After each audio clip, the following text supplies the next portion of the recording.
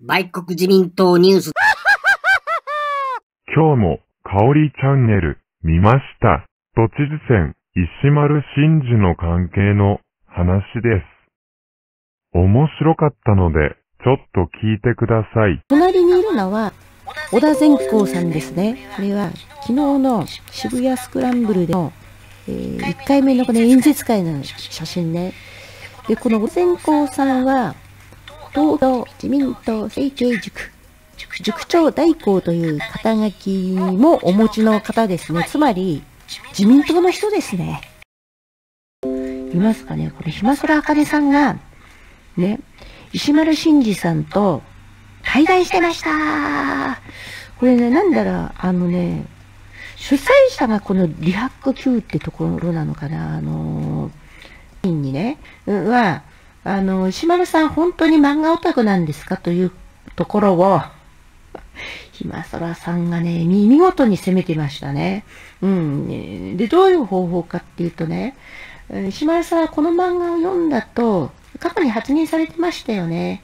はい、じじゃあ、この漫画の中で好きなキャラは誰ですかみたいに、攻めてくんですよ。で、その鬼滅の刃をさ、あの、読んだって設定なんだよね。石丸さんはね、そういう設定になってます。で、だから、あので、じゃあ、鬼滅の刃のファンだったら、あの、その中の鬼の名前を言ってくださいとかね。ひまそらさんが、ひまそらさんが、えーかなりね、突っ込んでたね。で、ひまそらさんは、あの、すんごい詳しい。アニメのそのキャラとか、中身に関してもね。で、しまるさんはね、ほぼほぼ答えられなかった。うん、で、あ、これだけ見ても、あ、そうか。あの、漫画愛好家を偽装してるな。うん、じゃあ何のために偽装するの？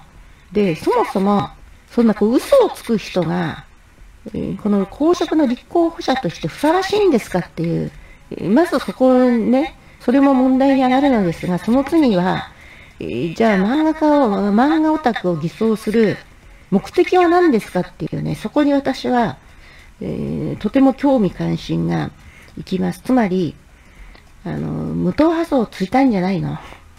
ね、漫画好きで、普段は選挙に行かない、まあ若者中心っていうのかな、その層を釣りたいんじゃないですかっていうね。はい。えーもしそんな魂胆があるとしたら、で、それを知らないで本当に投票しちゃう人がいたら、これ大変なことになるなというね。はい。はい。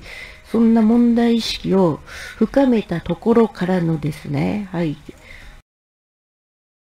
萩生田有利、小池百合が、もっともっと、ボロボロになっていきますよ。楽しみ。